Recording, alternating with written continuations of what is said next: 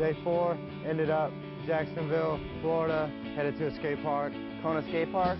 I've been there already, so I kind of already knew what to expect. As soon as we walked in the door, this the cement section of the park just looked ridiculous. Concrete snake runs straight out of the 70s. One of the most just massive, crazy concrete places ever. I had a, like a, a pool, like something I've been dreaming to ride. Looked super good, and then they had a little street course and a mini ramp, everything down below. Everyone seemed to be pretty excited when we got there and saw what there was.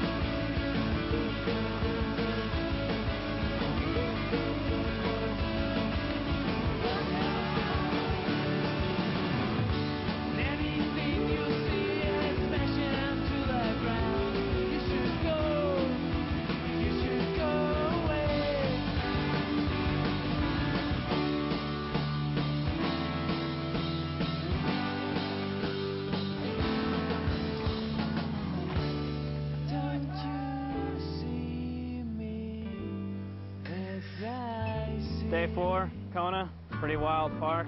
Pretty amazing, just watching everyone bust on the hips. There was a great hip that we sessioned for a while. Nate was just boosting the hips going to the sky. I loved it. I couldn't get myself off it. Ron was doing awesome one-footed flatties. They weren't very flat, but they're one-footed.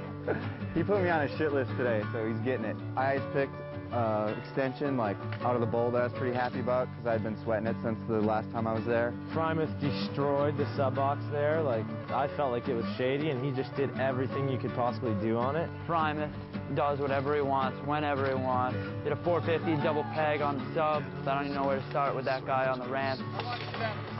The sub was awesome. I loved it. Dave Primus came so close to pulling the tail up to ice pick on the sub box.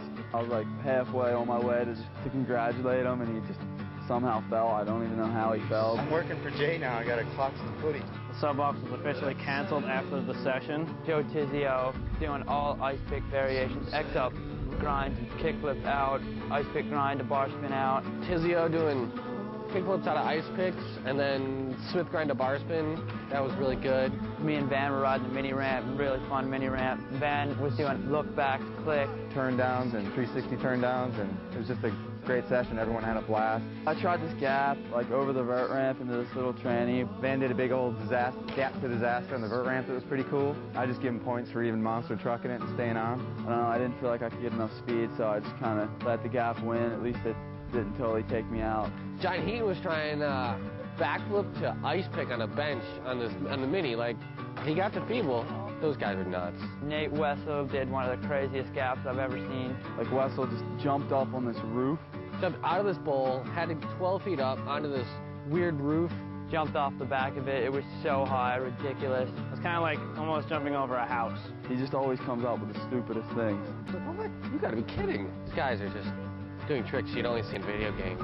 Van did one of the most amazing things I've ever seen. We were talking about jumping the snake run thing, and obviously I said, hell no, it's all you. Just instead of using the snake run, he just decided to go over the whole thing.